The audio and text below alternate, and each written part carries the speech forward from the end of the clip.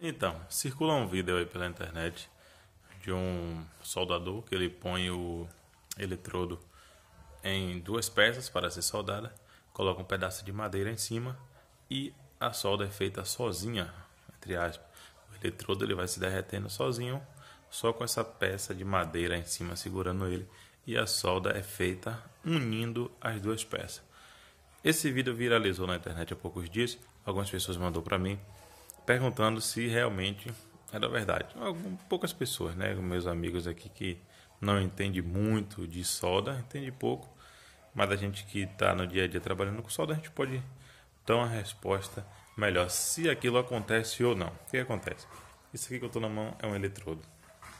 É, aquilo é verdade, sim, acontece. O eletrodo por dentro ele tem uma, não sei se vai dar para ver, ele tem uma pontinha de ferro por dentro. Ele é um revestimento amarelo, tá vendo?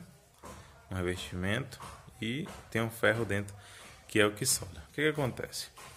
Quando ele acende o arco, você encosta o eletrodo na peça, ele acende um arco elétrico, um, tipo uma força de energia, que faz com que esse ferro que tem aqui dentro derreta e essa casca que tem aqui, ó, o revestimento dele, fique por cima protegendo a poça de fusão.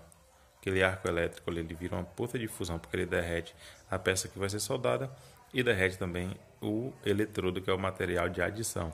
Então o que, que acontece? Essa essa esse pozinho aqui, ó, essa casca amarela, ela vira escória, ela fica em cima protegendo a o ferro ou a soldagem que está sendo feita com isso aqui.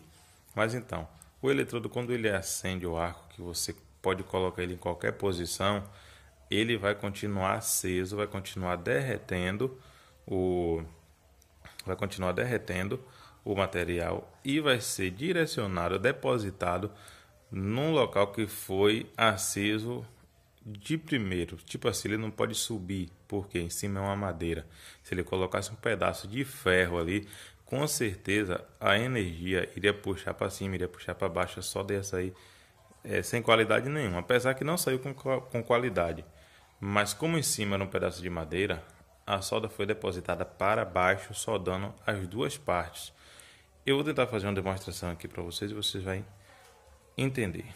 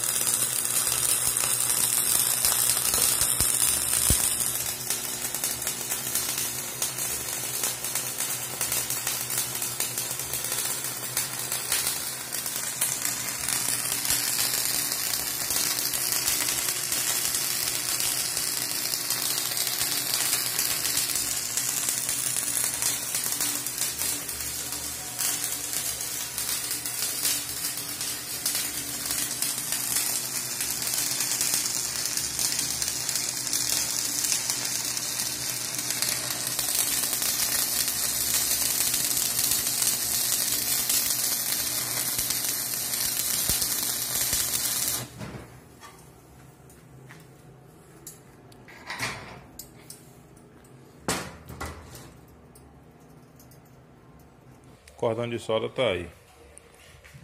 Deixa eu pegar aqui o martelinho para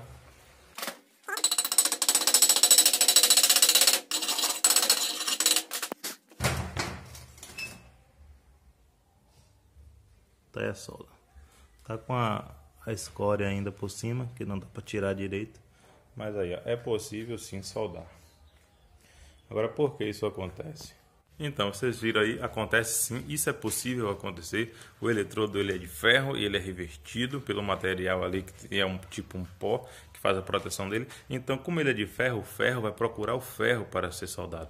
Então, como a peça de baixo é de ferro e em cima tem uma madeira protegendo ele, o arco elétrico vai puxar, vai fazer aquela conexão elétrica entre o ferro e o eletrodo, porque o ferro está aterrado, está tá com terra ali, agarrado. Então, vai fazer conexão elétrica um com o outro e automaticamente o material vai ser depositado na peça de baixo, que é o ferro. Se em cima fosse uma peça de ferro, a solda iria para baixo ou para cima, então ia, ia ficar naquela oscilação. Com certeza a solda ficaria ruim, não conseguiria soldar direito. Agora, se for uma peça embaixo, uma peça em cima e um soldador soldando, o soldador vai saber depositar o material embaixo, saber depositar o material em cima, empurrar mais, empurrar menos na hora certa, e a solda assim ficará com qualidade. Mas isso é possível sim e a prova está aí. Valeu, tamo junto.